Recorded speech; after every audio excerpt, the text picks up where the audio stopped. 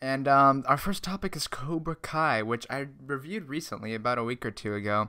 But yesterday, a little teaser, I guess you could call it, um, was posted of basically the Cobra Kai logo with that lifeline sound effect uh, playing in the background, and it basically speeds up uh, until you you the that beep noise came up um, when basically somebody dies but it caused a lot of speculation among uh, Cobra Kai fans. Oh, and by the way, uh, spoilers for the the first two seasons of Cobra Kai. So if you haven't seen Cobra Kai, I'd probably skip ahead.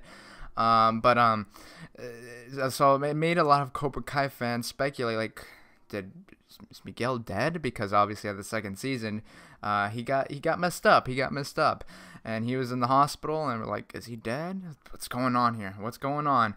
But a teaser trailer that did show actual footage of of the upcoming season of Cobra Kai came out this morning and that kind of answered the question and it revealed that Miguel does in fact wake up. Now first off, that little teaser trailer that they did yesterday with the Cobra Kai symbol and that lifeline sound effect going in the background with the beep beep beep beep thing that is absolute genius marketing because it didn't show anything and it made people talking. It got people talking, excuse me.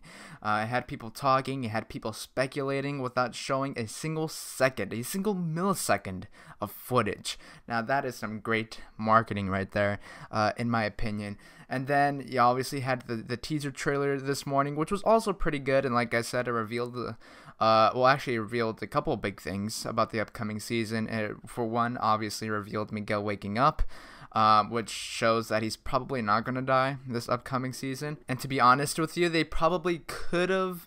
Uh, not have shown that he wakes up, still have kept people speculating until the re- the release of the new season. Uh, they probably could have done that, um, but and then it also revealed um, that uh, Johnny's son, I forget his name, that Johnny's son uh, is in jail for uh, probably you know almost killing Miguel, which kind of makes sense. Um, so yeah, it revealed a couple of big things. The big one obviously being Miguel waking up, and then the obviously the other one being Johnny's son um, being arrested. But overall, I'm really enjoying the marketing for Cobra Kai. I mean, um, the the the thing that they did with the logo yesterday was absolute genius, genius.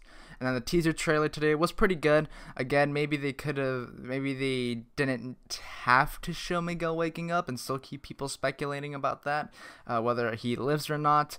Uh, and yeah, overall, I'm really digging the marketing that they're doing for Cobra Kai season three. I'm really looking forward to it. They also greenlit a season four, uh, which is exciting and it shows Netflix has confidence in the upcoming season of Cobra Kai. Um, so yeah, I'm really, really looking forward to what's to come for Cobra Kai.